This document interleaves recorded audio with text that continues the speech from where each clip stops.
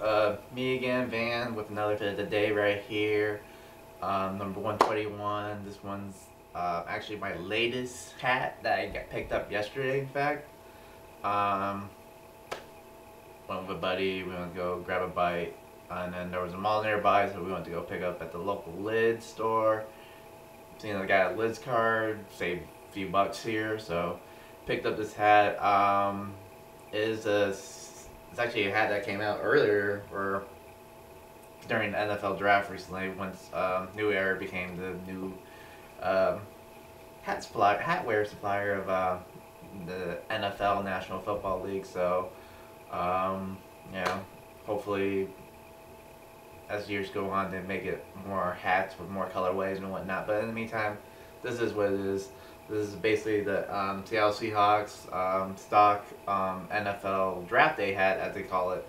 So, um, you know, it's just like most you know, new era hats. Um, is made from polyester, so it's the same material used for the Major League MLB game day hats.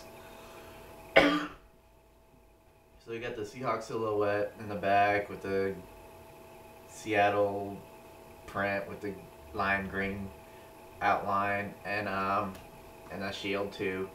Um, in case y'all don't know, the Seahawks changed up their logo and um, colorway and their jerseys, in fact. So it used to be like three shades of blue. Now it has now it's incorporating the gray on the bottom one there, and then also on the on the brim of the hat it has a NFC logo there. If you get the teams from the AFC, they'll have the A there too. So pick this up at the local lid store. Um, it's pretty, you pretty much pick it up wherever they sell sporting goods, clothing, attire.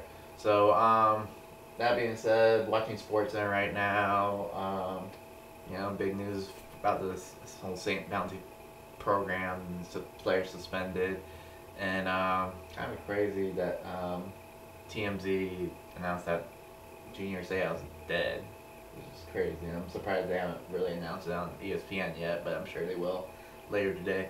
But that being said, man, um, rest in peace to Junior Seau before I leave with that. But um, we'll leave that for another time.